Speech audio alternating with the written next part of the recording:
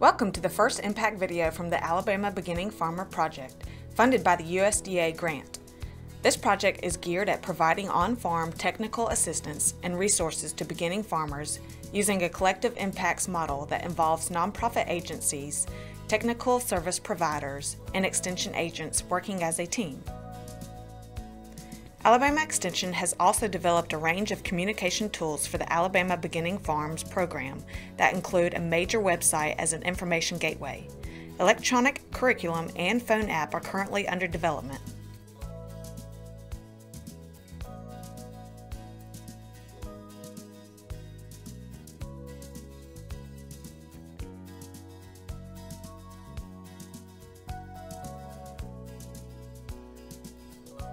Producers received extensive on-farm consultation and free access to all specialty crop production information that resulted in high adoption of recommended crop production practices on operational farms. Uh, yeah, and, and that's what I personally need as I am learning because I'm a beginning farmer and there's so much I don't know and I feel so fortunate to have, I, I, it's like I came into a situation that already you know, had things in it. So my thing is to learn from it. And so you're giving me the insight in how to approach.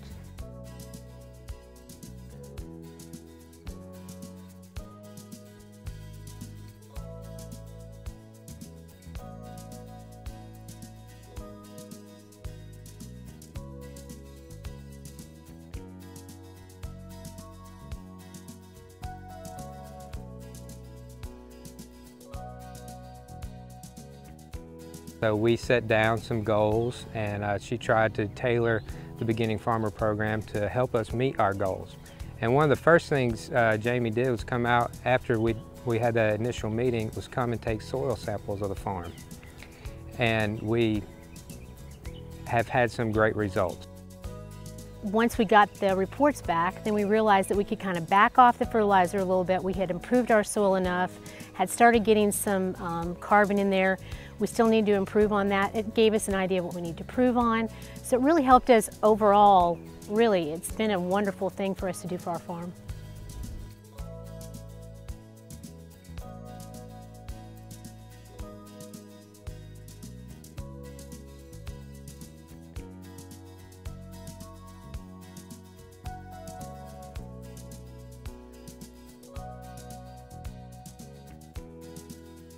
And that it's going to be such a wonderful benefit and asset to the community and, and truly a model of how to do it and, and to show uh, people who believe that farming has to be so expensive that they can't afford it.